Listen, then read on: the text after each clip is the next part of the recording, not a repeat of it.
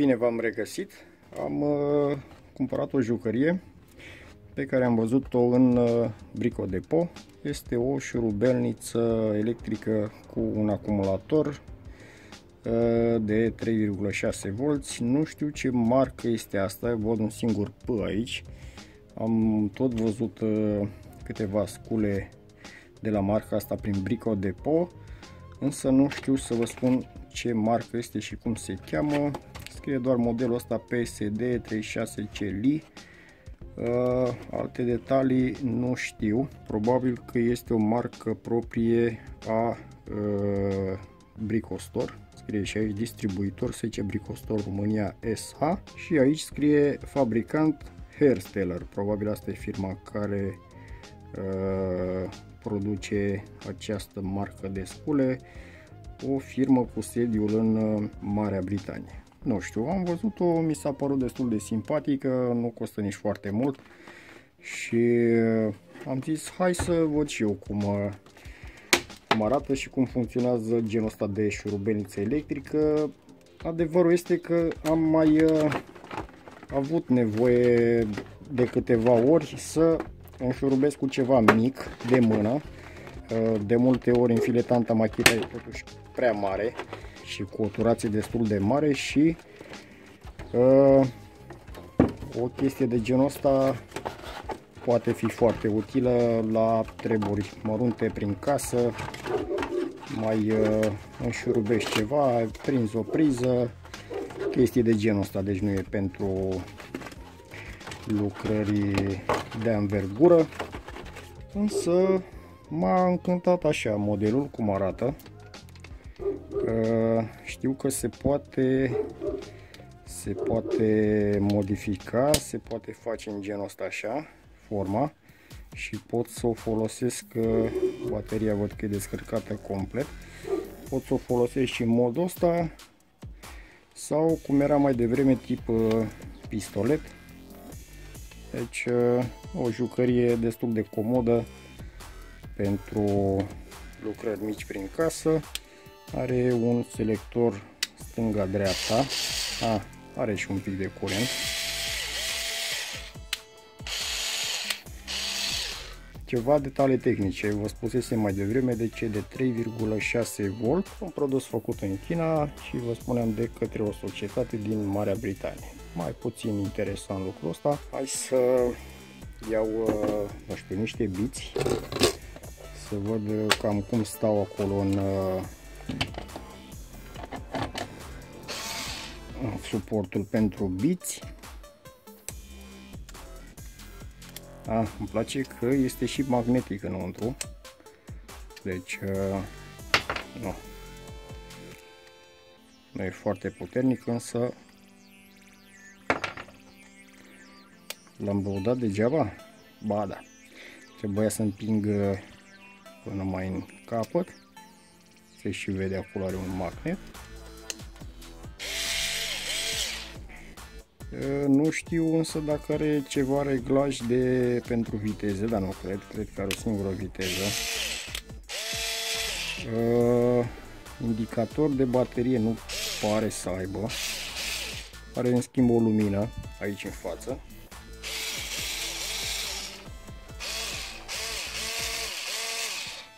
Să stic un pic lumina la softbox să văd cât de puternic este acest LED. Mi-ar trebui un mediu mai mai întunecat un pic, dar uh, cred că e suficient pentru, știu eu, te bagi undeva sub o chiuvetă sau ceva, montezi uh, un uh, mic corp de mobilier și e suficient cât să vezi unde unde urmează să înfiletezi șurubul. Încărcătorul e ăsta, unul micuț așa firav, chiar mai firav decât alea de telefoane. Nu scrie cu cât încarcă, 10W și se introduce aici Nu am uh, o priză aici la îndemână să vă arăt cum încarcă. și dacă are vreun LED undeva care mă atenționează, ar putea să fie ăsta de aici, cred. Da, ăla e sigur. Nu mai puțin să aduc o priză. Haideți să vedem dacă reușesc să vă arăt aici. Da, deci aici înăuntru este un LED, nu se vede, este roșu. Asta înseamnă că este la încărcat. Se pare că pe timpul încărcării nu se poate folosi mașina. Da. Deci câtă vreme șurubelnița se încarcă, nu se poate folosi. Asta e un minus. Cum o să văd în cât timp se încarcă. Mai scrie aici litiu-ion tehnologie. Deci are un acumulator litiu-ion înăuntru. Am revenit la poziție. Da, deci nu pot să-mi dau seama dacă acumulatorul este încărcat acum sau este pe descărcare.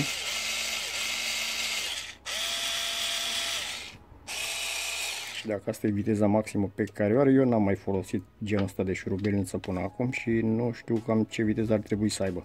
Însă o să o las la încărcat. Acum nu știu, sper că LED-ul ăsta o să se schimbe în altă culoare în momentul în care acumulatorul este încărcat complet. Ca să pot să-mi dau și o seama când, când s-a încărcat. Restul jucărie destul de simpatică, ok construită, deci pentru chestii mici prin casă, așa cum vă spuneam, cred că este ideală. Destul de ieftină, 39 de lei dacă nu mă înșel am dat pe ea din Brico Depot. Era acolo pe raft, cea mai ieftină, nu-mi trebuie ceva mai complicat, va fi folosită destul de rar, însă atunci când ai nevoie e ok. O să fac bineînțeles și niște teste, să văd și eu uh, cum își rubează, ce putere are. Înainte de asta o să o pun la încărcat să văd uh, cum, uh, cum arată, cum se descurcă încărcată la maxim că nu reușesc să-mi dau seama dacă e acum e încărcată sau aproape. Niște teste mici, simple, vedem uh, niște șurubele, uh, o să le cresc așa etapizat, diametru să vedem până unde nu mai poate duce, așa că o las la încărcat și o să îi facem și un test uh, micuț. Șurubelnița este încărcată. Într-adevăr, aici LED-ul ăsta roșu se face verde atunci când uh, încărcarea uh, este completă. Mi-am pregătit aici niște tipuri de hoșuruburi, să-i facem niște teste. Avem aici de la 3 cu 35, 3 ori 45, 4 ori 35 și avem 4 ori 60 dacă l-am pus și pe asta de 4 ori 60 am zis să fie ultimul bastion să-i spun așa, dacă îl duce pe la uh, nici nu am nevoie să o testez mai departe pentru că este suficient. În orice caz eu nu o să o folosesc la genul ăsta de șuruburi preponderent pentru astea o să o folosesc să mă ajute la montarea lambriului în locuri foarte înguste unde nu prea intră înfiletanta cea mare. Și um, dincolo de asta până când s-a încărcat uh, șurubelnița am intrat și un pic pe net să fac niște căutări să mă documentez un pic. Marca se cheamă Performance Power dar uh, mai departe nu am găsit alte informații să văd cine o produce și așa mai departe Uh, însă eram intrigat de, de pe ăsta, că nu știam ce înseamnă, deci Performance Power. Forma mai găsit alte detalii pe, pe site, de unde l-am cumpărat de la Brico Depot.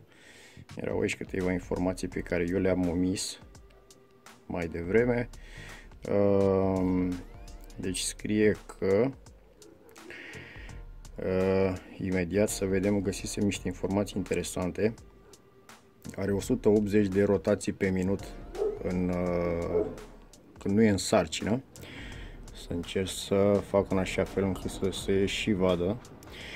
Uh, lungime șurub compatibil între 25 și 50 de milimetri până la 3,5 mm scriu ei că poate înfileta, eu am pus acolo și de, de 4 uh, rotație înainte înapoi, cuplu maxim Uh, este de 3, iar s-a uh, încețoșat aici, deci scopul maxim este de 3,5 Nm și câteva date în ce privesc dimensiunile. Deci, după cum vedeți și voi, este o șurubelniță la 40 de lei. Haideți să o supunem la teste să vedem cum, cum se comportă. Deci îl avem pe cel de 3x35.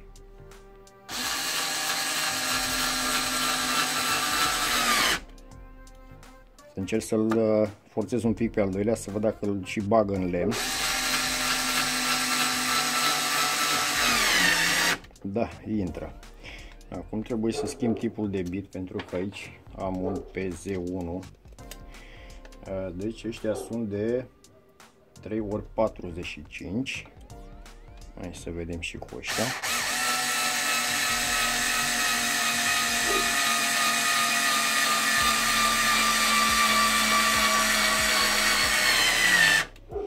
Uh, ce nu-mi place și nu sunt obișnuit deloc cu faptul că durează destul de mult, să încerc să mă apropii un pic mai mult de uh, locul unde am uh, băgat aceste hoșuruburi.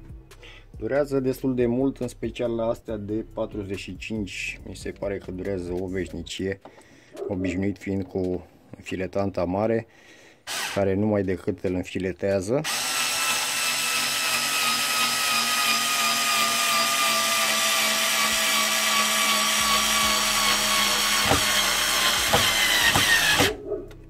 Așa, mai departe avem 4 ori 35 uh, se potrivește, cred că se potrivește. 4 ori 35 deja dacă îl înfiletează pe ăsta de 4 eu zic că e super ok. Opa.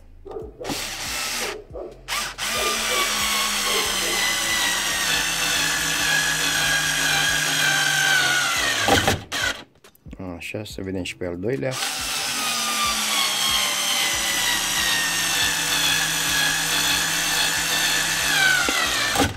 nici materialul nu e foarte dur, e un brad. E adevărat că e un pic cam duros și sunt zone destul de tari. Așadar avem ultimul șurub aici, asta am zis că e de 4,60 Hai să încercăm să-l înfiletăm și pe ăsta.